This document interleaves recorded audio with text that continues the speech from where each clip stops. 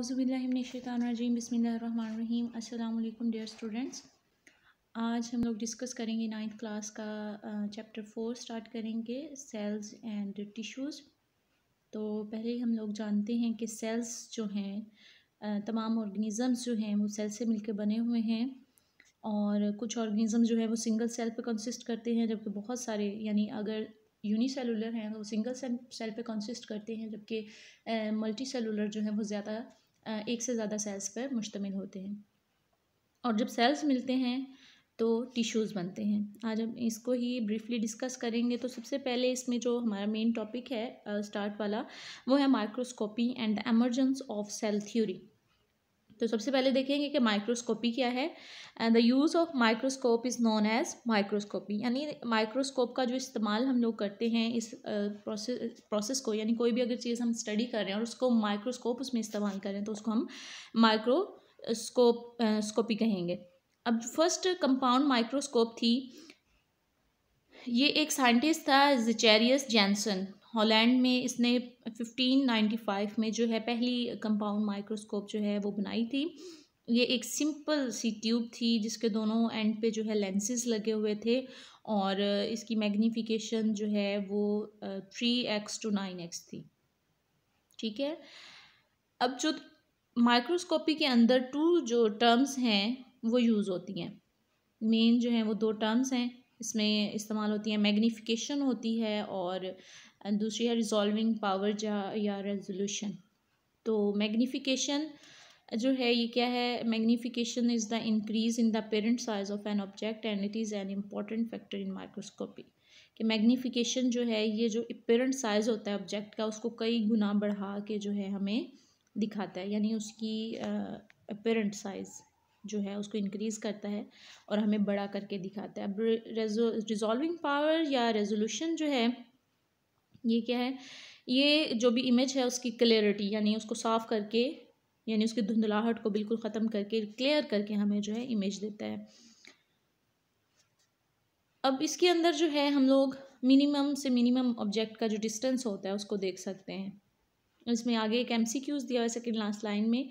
कि human naked eye का जो डिफ्रेंसीशन है दो पॉइंट्स के अंदर जो आई कर सकती है, वो zero point one M M apart है, ठीक है? यानी रेजोल्यूशन ऑफ़ ह्यूमन आई है zero point one M M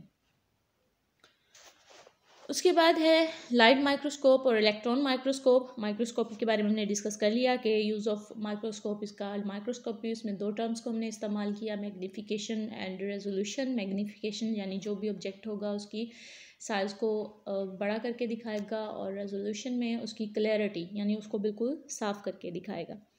अब लाइट माइक्रोस्कोप और इलेक्ट्रॉन माइक्रोस्कोप तो दो तरह की जो माइक्रोस्कोप हैं, वो इस्तेमाल होती हैं। लाइट माइक्रोस्कोप जो है, इसमें से हम विजिबल लाइट को जब स्पेसिमिन के अंदर से गुजारते हैं तो वो हमें जो इमेज है, वो नज़र आता है।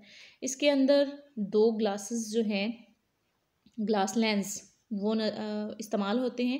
एक लेंस जो है वो इमेज को इनलार्ज करता है जबकि दूसरा लेंस जो है वो उस इमेज को मैग्नीफाई करता है। यानी एक लेंस से क्या होगा, वो इमेज को बड़ा करके दिखाएगा और दूसरा जो है वो उस प्रोजेक्ट को, उस इमेज को जो है आपको क्लियर करके दिखाएगा।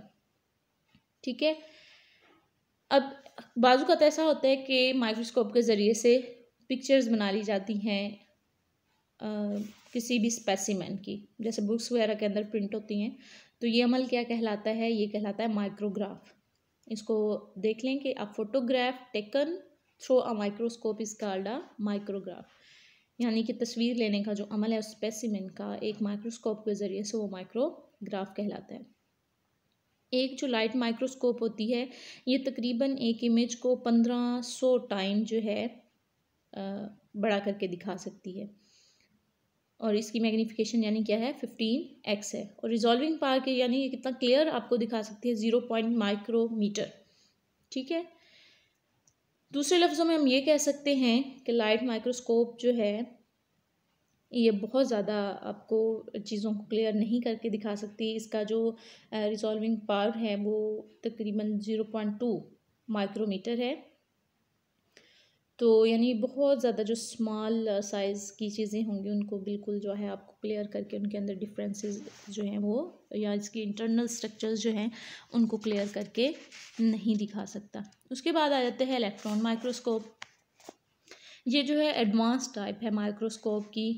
इलेक्ट्रॉन माइक्रोस्कोप में ऑब्जेक्ट और लेंसेज जो हैं, ये वैक्यूम चैम्बर के अंदर रखे जाते हैं और इलेक्ट्रॉन की एक जो बीम है, एक धार जो है इसके अंदर से गुजारी जाती है। इलेक्ट्रॉन जब इसके अंदर से गुजरते हैं और ऑब्जेक्ट के साथ रिफ्लेक्ट होते हैं तो ये इमेज बनाते हैं। इलेक्ट्रोमैग्नेटिक लेंसेज जो हैं, वो उसको, उसके इमेज को इनलार्ज करते हैं इमेज पर फोकस करते हैं और स्क्रीन के ऊपर एक फ़ोटोग्राफी फ़िल्म की शक्ल में उसकी जो है तस्वीर बना देते हैं। इलेक्ट्रॉन माइक्रोस्कोप की जो रेजोल्यूशन हम जिसको कह लें या रिजॉल्विंग पावर कह लें, वो लाइट माइक्रोस्कोप से बहुत ज़्यादा होती है कि मॉडर्न इलेक्ट्रॉन माइक्रोस्कोप जो है, ये ज़ीरो पॉइंट टू नैनोमीटर जैसे ऑब्जेक्ट्स को भी जो है आपको क्लियर करके दिखाएगी। और इसका जो है, यानी ये लाइट माइक्रोस्कोप से बहुत ही ज़्यादा एडवांस है और बहुत ही ज़्यादा आपको क्लियर पिक्चर दे सकती है। इसकी मैग्नीफिकेशन पावर अगर हम लोग कहें तो ये two lakh fifty thousand time आपको कोई भी चीज़ जो है उसको मैग्नीफाई, यानी उसको बहुत बड़ा करके आपको दिखा सकती है कि एक ऑब्जेक्ट है तो two lakh fifty thousand time उसकी जो तस्वीर है उसको बड़ा करके आपको दिखा सकती है। और इलेक्ट्रॉन माइक्रोस्कोप जो है ये इंडिविजुअल सेल्स के एटम्स तक को डिटेक्ट करके आपको बता सकती है, सेल्स को, उसके ऑर्गेनेलिज को, यहाँ तक के molecule like DNA, RNA, protein और सिंगल एटम्स इनको भी आपको जो है मैग्नीफाई करके दिखा सकती है। बायोलॉजिस्ट जो हैं, आमतौर पर दो किस्म के इलेक्ट्रॉन माइक्रोस्कोप जो है इस्तेमाल करते हैं। ट्रांसमिशन इलेक्ट्रॉन माइक्रोस्कोप और scanning electron microscope transmission electron microscope जो है, इसमें इलेक्ट्रॉन जो हैं, वो स्पेसिमिन के अंदर से गुजारे जाते हैं, ठीक है? और ट्रांसमिशन इलेक्ट्रॉन माइक्रोस्कोप जो है, ये इंटरनल सेल स्ट्रक्चर को जो है स्टडी करने के लिए इस्तेमाल की जाती है। यानी सेल्स के अंदर जो मौजूद ऑर्गेनालीज कह लें, उनको उनको स्टडी करने के लिए हम लोग जो है ट्रांसमिशन इलेक्ट्रॉन माइक्रोस्कोप को इस्तेमाल करते हैं। और दूसरी टाइप है स्कैनिंग इलेक्ट्रॉन माइक्रोस्कोप की।